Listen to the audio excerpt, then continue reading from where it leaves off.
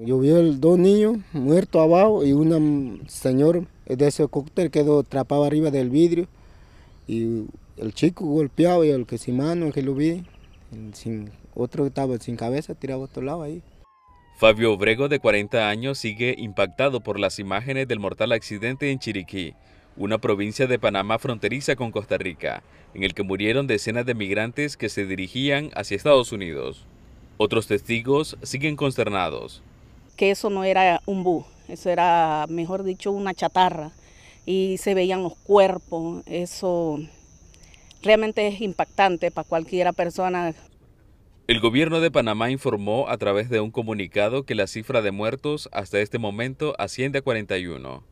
El gobierno nacional informa que personal autorizado del Ministerio Público sigue realizando los estudios médicos para identificar los cuerpos sin vida rescatados del trágico accidente de tránsito que ocurrió en Los Planes, Gualaca, provincia de Chiriquí.